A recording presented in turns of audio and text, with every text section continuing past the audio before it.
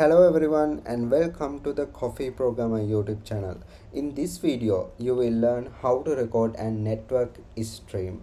Here I am using my Mac. You can also use this VLC software for Windows, Ubuntu and etc. You can download that and after you open the software you can click this file and open network now this is the place that you have to include your link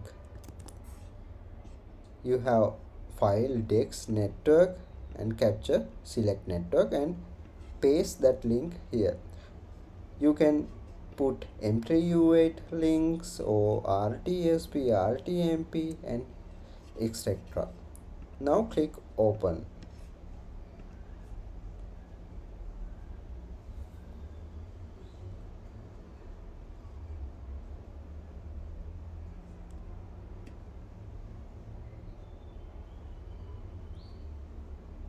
It will take some time depend on, on your network speed network bandwidth.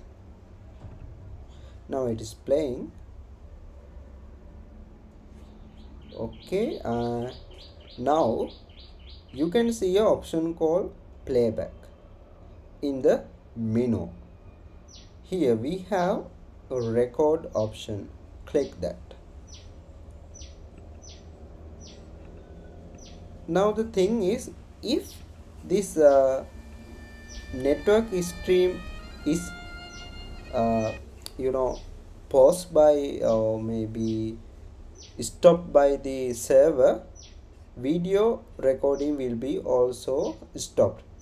If that network restart again the recording will be started again.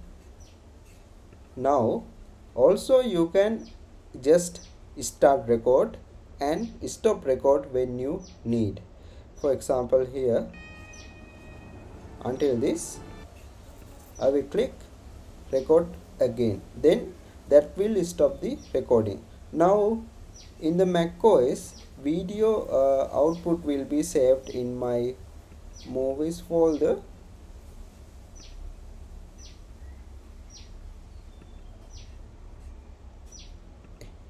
here this is it. Now you can see it has been uh, recorded. Right?